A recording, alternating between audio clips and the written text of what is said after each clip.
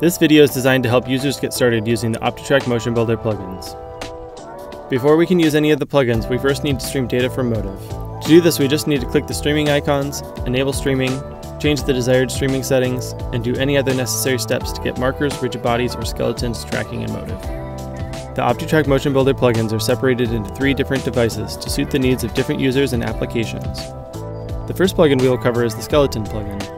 Allows skeleton and rigid body data to be streamed from Motive to Motion Builder directly as bone data. Before you start streaming, there are a few different properties for this plugin that can be used to customize your experience, such as creating asset roots for scaling assets independent from each other.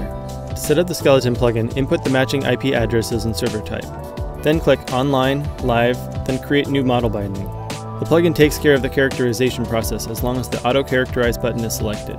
To track an example character, go to the Asset Browser tutorial folder and drag the Mia Characterize object into the viewer with Merge All Takes. Go to the character controls and select Mia from the character dropdown, then select one of your characterized skeleton assets from the source dropdown. To get a more accurate representation of Mia compared to your skeleton data, go to the Navigator, Characters, Mia, Character Settings, Retargeting, and enable the toggle next to the Match Source option. More optimizations can be done by scaling the asset root node or by modifying the settings of the HIK solver. The next plugin we will cover is the Opticals plugin. It allows marker data to be streamed from Motive to Motion Builder. Additionally, it can be used to quickly set up an actor workflow.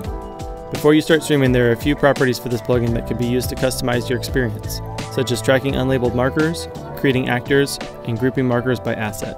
To set up the optical plugin, plug in the IP address and server type, then click Online, Live, then generate a new optical model. To track an example such as Mia, do the same steps described in the Skeleton plugin, but choose the actor as the source for Mia instead of the characterized bone data. The last plugin we will cover is the VCS, or Virtual Camera System plugin. It allows a rigid body to be streamed to Motion Builder as a camera object while using some of the controller inputs to modify how the camera object behaves. To set up the VCS plugin, input the matching IP address and server type. Then enable Online, Live, and choose the rigid body ID you would like to use.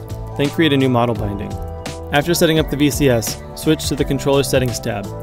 There is a grid showing the different controls on the VCS and how they map to different actions on the camera object.